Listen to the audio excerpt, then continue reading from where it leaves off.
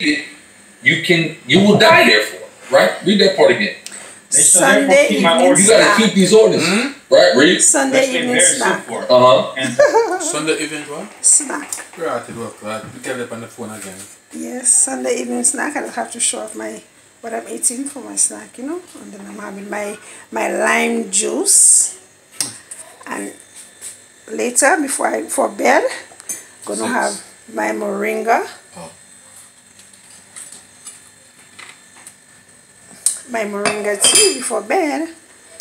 That's it. I'm just showing off my delicious meals. Enjoy. The first day of school. Say hi there, Steve. First day of school, Baba. First day of school. You guys excited?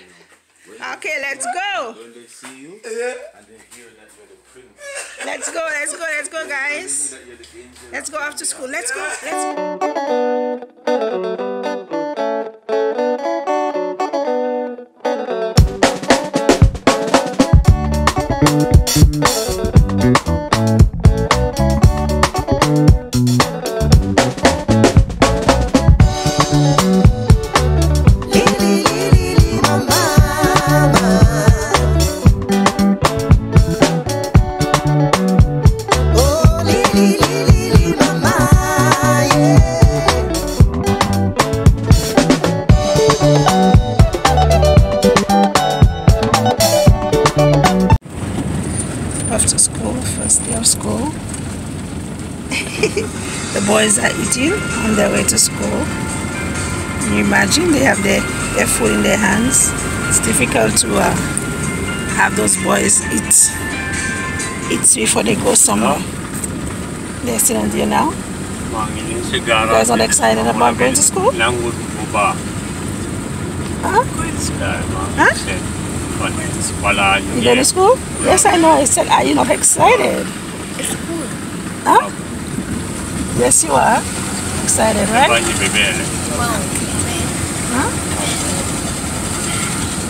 Okay, you guys just don't know how to make this thing go nice. I don't know. Swallow what's in your mouth. Yes, that is there now? Well, I could be. Huh? Okay, so after school.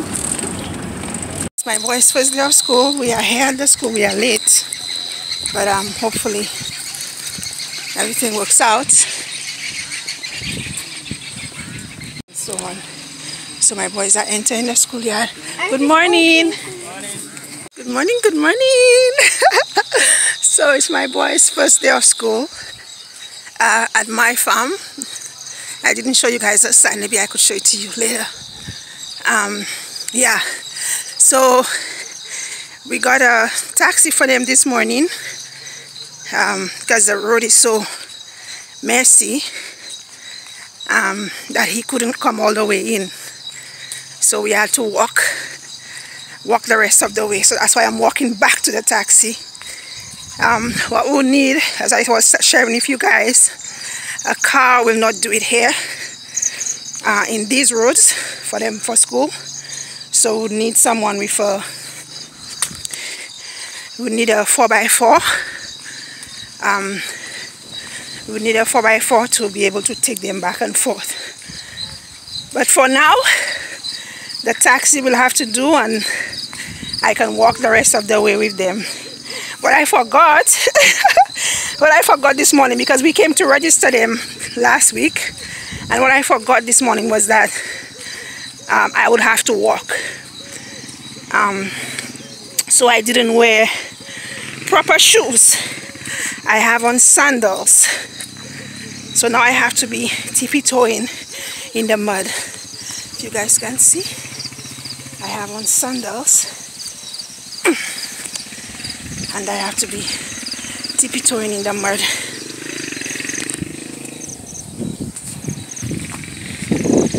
Yeah, so it's terrible.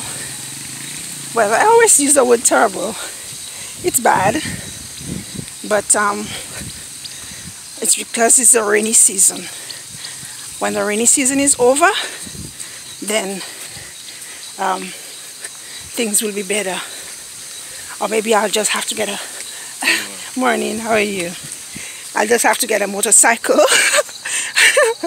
and ride them right to school. Yeah, but I'm excited. I'm very excited about them being able to start school.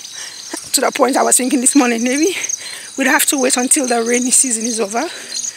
But I don't want to do that. I want to be able to go through things just as the locals do. I'm not going to wait a whole month just to um, escape the the muddy roads and the um, the the hard the hardships.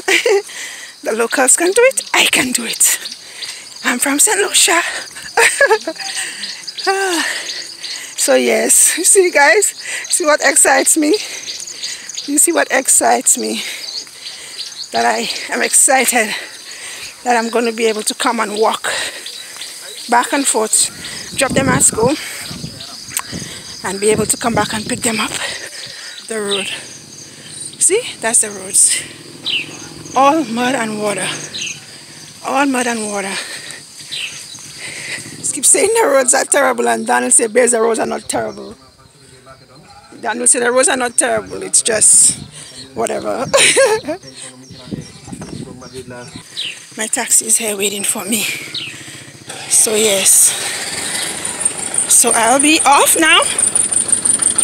Thank you.